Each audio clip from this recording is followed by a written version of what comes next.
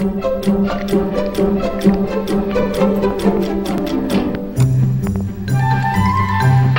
pronti i popcorn! Eccoli! Arrivano! Eh, finalmente popcorn! Mm, sono buonissimi! Alina, mi fatti un cuscino così due! Sì! Raga, ma il film? Eh, ce l'hanno Scoy, Strana, dovrebbero arrivare a breve. Oh, raga. Oh, Eh. Dai, va, vediamoci sto pezzaccio, va.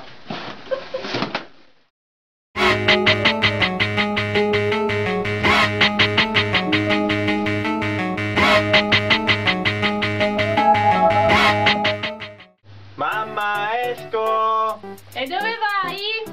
Vado a prendere a cinghiate un paio di neri! Ma l'hai detto papà? Uffa, che palle! Papà, esco! E dove vai? Vado a prendere a cinghiate un paio di Hai neri! chiesto a mamma? Sì, ha detto che posso andare! Va bene, non fare tardi però, che in giro c'è brutta gente. Che palle, va bene! esco! E dove vai? A spaccare qualche vetrina con gli estintori! Va bene, brava! Ma l'hai detto papà? Uffa, che palle! Papà, esco! Hai già parlato con mamma? Sì, ha detto che va bene! Ok, però copriti che fa freddo. Sì, che palle!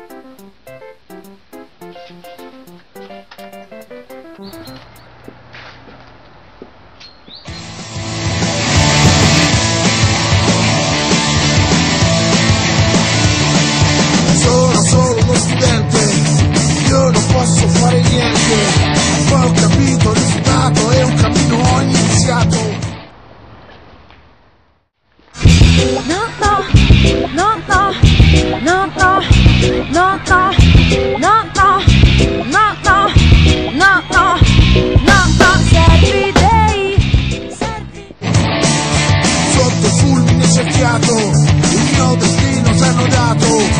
Con lo stesso mio destino nel ragazzo. L'unico fascista buono E il fascista morto sta a sentire verme tifoso Tu non mi fai paura, io ti mando a riposo C'è una sola violenza che posso accettare Lotta di classe contro potere Violenza dettata da necessità Necessità oggettiva quella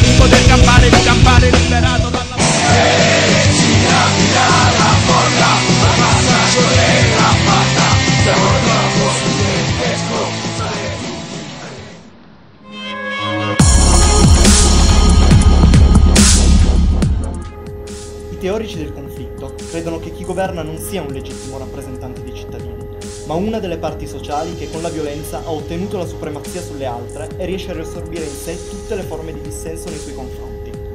Martin Luther King, ad esempio, oggi è un simbolo della democrazia americana, che soltanto 50 anni fa lo criminalizzava. Per questo, quando si parla di movimenti estremisti, ci si riferisce a persone che credono che l'unico modo per costruire un'alternativa sia sovvertire il potere dominante o soffocare le altre parti sociali. Oggi molti fenomeni sono etichettati come violenti. Ciò non permette di comprendere quali differenze ci siano tra un episodio e l'altro. In altre parole, qual è il limite della violenza? Cosa distingue un partigiano da un terrorista? La strage in Norvegia, gli scontri di Roma del 15 ottobre, la contestazione Notav, la strage di Firenze.